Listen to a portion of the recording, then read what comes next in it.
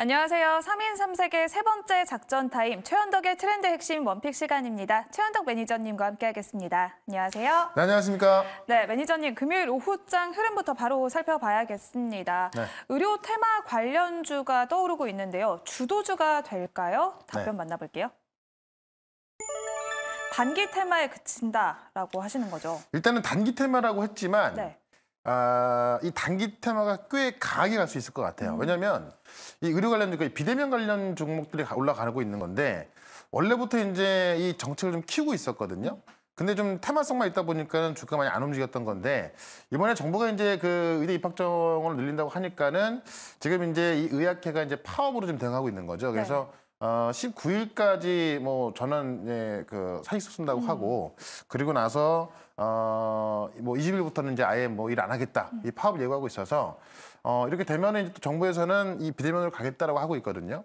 어 그래서 어떤 정부의 어떤 이런 이슈와 이 비대면 의료 정책이 맞물렸기 때문에 이 비대면 의료 관련 종목들이 이 1월 초에 한번 올랐었 올랐었는데 지금 다시 올라가면서 그, 그 당시에 매물 소화하고 있는 거예요. 그래서 일단 단기 테마 단, 단기 테마는 올라갈 수 있을 것 같아서 이쪽에 종목들이 몇 개 없거든요. 그래서 좀 보시면 좋을 것 같고 어, 요거 관련해서는 제가 오늘 장 끝나고 나서 이제 무료 방송에서 좀 자세히 설명을 드릴 거니까 이 의료 비대면 관련주 궁금하신 분들은 오늘 장 끝나고 이 4시 시작하는 무료 방송 오시면 될 것 같습니다. 네, 비대면 진료 관련주들 또 단기 테마에 그칠 수 있지만 또 강하게 올라갈 수 있다라고 그쵸. 말씀을 해주셨고요. 두 번째 질문으로 넘어가 보겠습니다.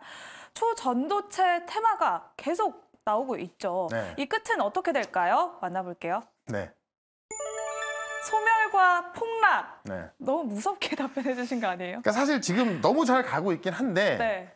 이게 초전도체라는 게 어, 그러니까 쉽게 말하면 아바타 영화 보셨잖아요. 네. 아바타 영화 보시면 이제 섬이 이렇게 떠 있습니다. 그러니까 초전도체가 어 이제 어떤 그 이 저항이 없는 열이 그, 그 어떤 전기가 계속 나오는 거라서 어이 아바타 같은 경우도 이 초전도체 물질을 찾기 위해서 어, 그 행성 갔던 거거든요. 네. 행성 가니까 섬이 떠 있는 거잖아요.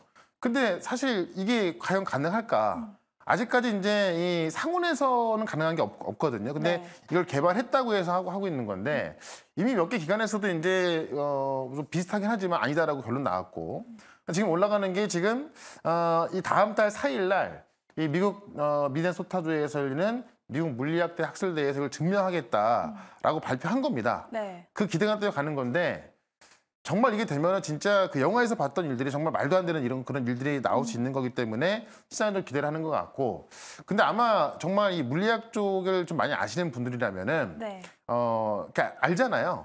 그쪽은 아마 아닐 텐데. 근데 어쨌든 그런 걸 기대하는 것 때문에 좀 가는 것 같습니다. 그렇기 때문에 결국 저는 이쪽은 어 정말 많이 올라와 있고. 이 관련주 하나가 10배 넘게 올라와서 3조 원이 넘었거든요. 네. 그러니까 이렇게 하다간 진짜 뭐 그 종목이 지금 MSCI 자금 편입까지 이야기 나올 것 같아요. 그만큼 좀 너무나 많이 올라와 있는데 사실 이 결과가 그렇게 뭐 좋을 것 같지는 않기 때문에 아, 이쪽은 좀 조심하는 게 좋을 것 같다고 의견을 좀 말씀을 좀 드려볼게요. 네, 이렇게 연구 결과 발표를 앞두고 초전도체 테마가 다시 들끓고 있지만 현재는 또 너무 과열됐기 때문에 투자에는 유의를 해주시면 좋을 것 같습니다. 네. 그러면 이어서 매니저님이 소개해 주셨던 종목 리뷰부터 해보도록 할 텐데요.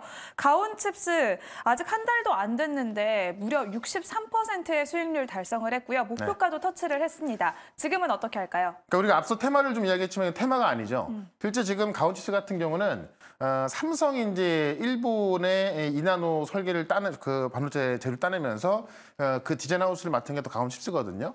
그런 관점에서 사실 이 이나노의 기술을 따낸 디자인 하우스는 전 세계에서 유일합니다. 그러니까 전 세계에서 가장 높은 기술을 인정받은 디자인 하우스가 바로 가온칩사라고 보시면 되는 거기 때문에 지금 단기적으로 올라왔긴 합니다만은 조정 시 다시 한번 매수 관점 봐야 되는 거고요.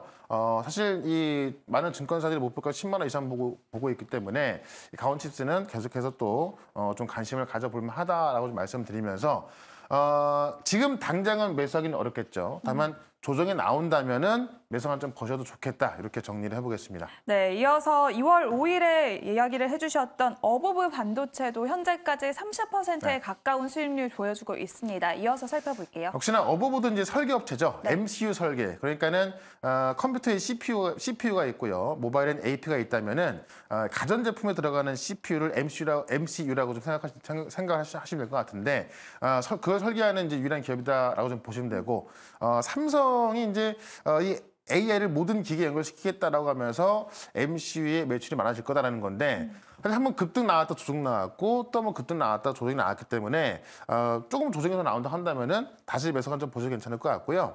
제가 항상 반도체를 말씀드리면 이런 IP 설계 기업들이 어, 지금 이 AI 시대에 있어서 어떤 그 차세대 반도체 기술을 갖고 있기 때문에 그런 관점에서 이런 종목들만 꽤 세게 올라가는 겁니다. 그래서 이런 종목들은 조정이 나올 때 다시 한번 관심을 가져봐도 좋을 것 같다라고 정리를 해보겠습니다. 네, 이렇게 두 가지 종목 리뷰 도와드렸습니다. 그러면 오늘 최현덕 매니저님이 준비해주신 첫 번째 트렌드 핵심으로 바로 넘어가 보겠습니다. 네.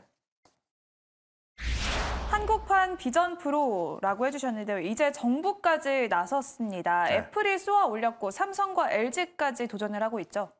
그러니까 이 애플의 Vision Pro가 네. 생각보다 좀 잘 되고 있어요. 뭐 굉장히 비싼 가격에도 불구하고 잘 팔리고 있고 그만큼 이제 소위 말하는 애플빠들이 이제 뭐 굉장히 많이 사고 있고 아시아 쪽에서 오히려 이제 뭐 중고로 사는데도 뭐 천만 원 넘어간다고 하니까는 어, 지금 정부도 이쪽 시장을 좀 살려보겠다라는 건데 이 XR 시장이 기기만 잘 나온다고 되는 게 아니거든요. 그러니까 기기 안에 들어가는 킬러 컨텐츠가 있어야 그 킬러 컨텐츠를 즐기기 위해서 하는 건데 그런 관점에서 XR 생태계 조성하는 데 있어서 지금 2차 운영위원회를 개최한 겁니다. 그래서 어, XR 기기와 XR 기기에 들어가는 핵심 부품, 그다음에 킬러 컨텐츠까지 어, 같이 어떤 이 유기적인 협력 체계를 구축할 수 있도록 어, 조성하는 그런 논의를 시작한 거고요.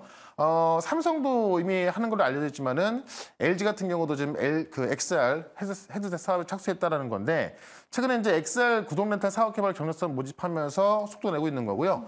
중요한 건 이제 중국의 화웨이가 소니의 4K 마이크로 어, OLED 탑재를 OLED를 탑재하면서 어, 내놓는다고 하는 거고 삼성도 지금 애플한테 어떤 주도권을 뺏길 수가 있기 때문에 예, 어떤 XR 시장을 살리기 위해서 에이스를 모아서 비밀 조직 결성했다 알려져 있는데 이게 처음에는 극소수였지만은 이 비밀 조직이 이제는 100명이 넘어가지고 비밀이 아니게 돼버린 겁니다. 네. 그러니까 삼성, LG까지 뛰어들고 있는 거고 이게 중국의 화웨이까지 뛰어들고 있는 거기 때문에 XR 기가 살아나고 있고 그다음에 지금 그 8월드라고 하는 킬러 컨텐츠 나와주고 있기 때문에 이 XR 시장이 어, 좀 의외로 좀 빨리 커질 수 있다라고 보고 있는 거죠.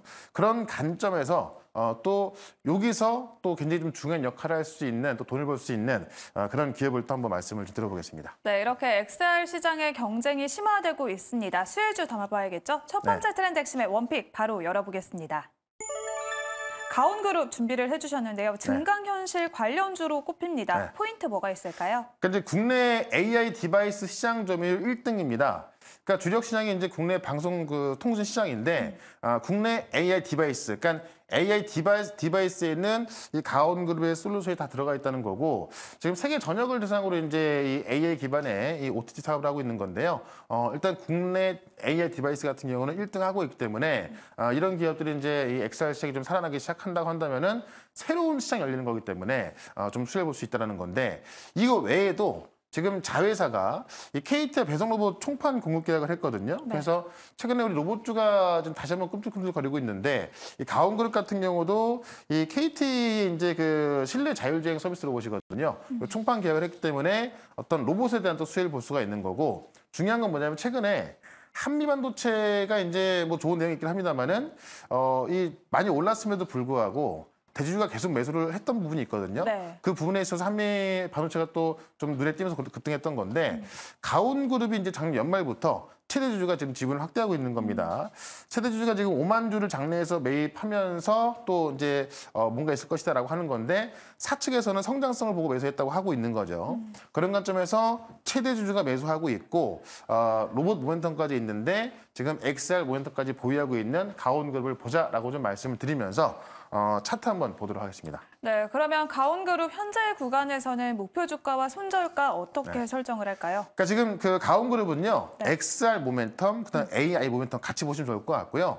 아, 항상 급등 나왔다가 좀 빠지는 바람에 아직까지 주가 크게 올라가 있지 않습니다. 다만 이번에 상승 같은 경우는 실제 이제 이 앞전에 매물을 좀 소화하면서 올라온 거고 지금 그 한번 올라오고 나서 상당 구간 이 급등한 상황에서 유지를 하고 있죠.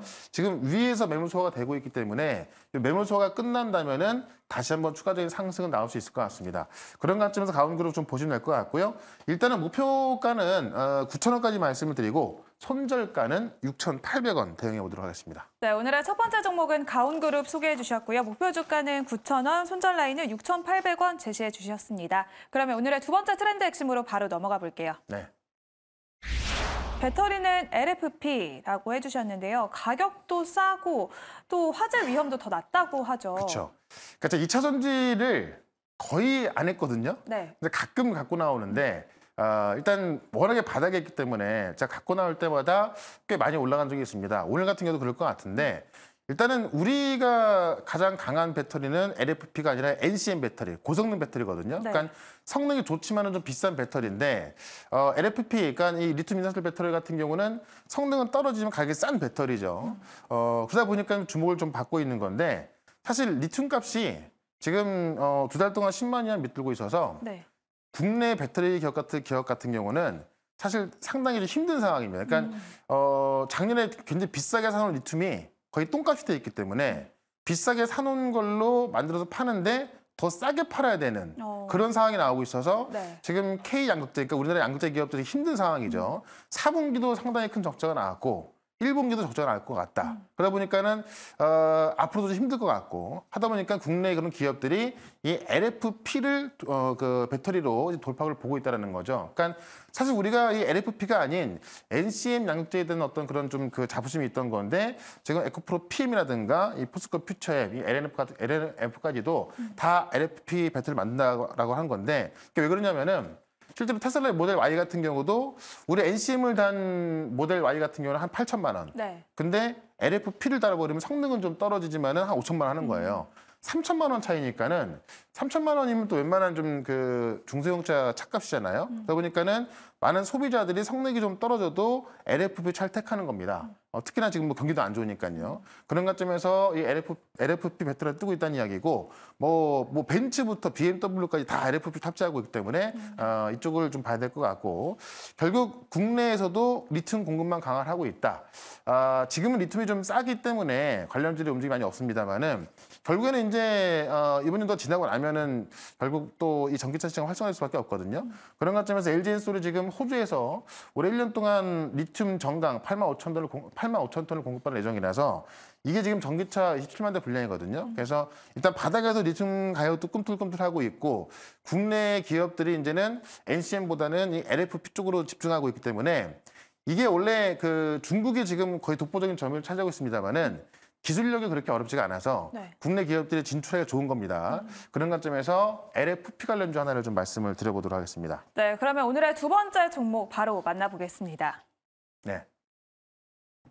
네, 소프트센 준비를 해주셨는데요. 이번에 또 테슬라 납품사 관련된 내용이 나왔더라고요. 포인트 그러니까 짚어볼까요? 그 end user가 이제 테슬라가 되는 건데 네. 이 소프트센이 LFP 배터리 검사 장비를 어, 테스트가 성공이 된 겁니다. 그래서 이 ONE이라는 업체에 공급하고 있는 건데 어, 원 넥스 에너지라고 해서 이 ONE이라는 업체 같은 경우는 어, 지금 미국에서 원래 그 애플의 자율주행차 팀이 나와가지고 만든 회사인데 실제로 기술력이 뛰어나, 뛰어나다 보니까는 이 BMW 라든가 이 빌 게이츠 어떤 펀드 투자를 받으면서 어, 지금 미국의 유니콘, 그러니까 상장되지 않았는데 시가총 1조가 넘어가는 어. 유니콘으로 지금 이제 평가받고 있는 기업입니다. 이 소프트센이 ONE이라는 기업에 어, 지금 LF, LF 배터리 이 검사 장비를 공급, 공급한다는 건데 이 ONE이라는 기업이 작년에 이제 소프트센 와가지고요. 어, 작년에 한국에 있는 검사 장비를 테스트했고 그래서 이거를 지금 미국의 원이라는 기업에 납품해서 어, 설치까지 해서 테스트까지 완료가 된 겁니다. 그렇기 때문에 원은 원 같은 경우는 아, 지금부터 이제 어떤 그 상용화 시키기 위해서 이제 공장을 돌리고 있는 건데 거기에 지금 소프트 센의 배터리가 공급된 거기 때문에 원 같은 경우는 테슬라에 공급하고 있거든요. 그래서 테슬라에 들어가는 LF, LFP 배터리를 어, 공급하고 있다라고 좀, 라고 좀 보면 될 것 같고요. 하반기부터 지금 첫 번째 공장이 가동이 되기 때문에 이렇게 되면은 대규모 수가 나올 수밖에 없겠죠. 그런 관점에서 이 소프트 센을 좀 보자라고 말씀드리면서 차트 한번 보도록 하겠습니다. 네, 소프트 센 다소 가벼운 종목이긴 합니다. 그럼 네. 가격 전략 어떻게 세울까요? 그러니까 소프트 센이 네. 지금 이제 보시면 뭐 800 얼마예요. 그래서 동전주다 보니까는 뭐 잡주 같은 인식이 좀 있긴 합니다. 어쨌든 시가총액이 좀 작기 때문에 어, 좀그 소위 말하는 뭐 잡주의 이미지가 있을 수 있는데 실제 잠깐 내용 말씀을 드렸습니다만은 어, 이미 어떤 그 검사 장비에 대해서 기술력 입증이 됐고 설치가 돼 있는 거거든요. 그래서 엔드유저가 테슬라기 때문에 그런 관점에서 주가 상승이 나오면은 일단 시가총액 천억 넘어가면서 어, 시장에서 좀 인정을 받을 것 같습니다. 그런 관점에서 일단 목표가는 천원까지 좀 말씀을 드리도록 하고요. 손절가는 700원으로 대응을 해보도록 하겠습니다. 네, 오늘의 두 번째 종목은 소프트센 소개를 해주셨고요. 가격 전략까지 자세히 알아봤습니다. 오늘도 매니저님이 쉬지 않고 공개 방송 준비하고 계시는데요. 네. 오늘은 어떤 주제일까요? 일단 다음 주 시장에 상당히 변동이 있을 것 같은데 아, 오늘 같은 경우 지금 초전도체 관련주들 그다음에 아, 지금 비대면 관련주들 움- 움직이고 있죠. 아, 갈만한 종목이 딱 두 개 있습니다. 이쪽의 종목들하고요. 다음 주에 또 어떻게 대응해야 되는가 이 시장 설명 드릴 거니까 아, 4시부터 시작하는 무료 방송 유튜브에서 최현덕 검색하시고 4시부터 실시간 방송 들어오시면 되겠습니다. 네, 오늘 공개 방송에서 많은 투자 insight 얻어가시면 좋을 것 같습니다. 지금까지 3인 3색 작전 타임 최현덕의 트렌드 핵심 원픽 시간이었습니다. 고생하셨습니다. 네, 고맙습니다.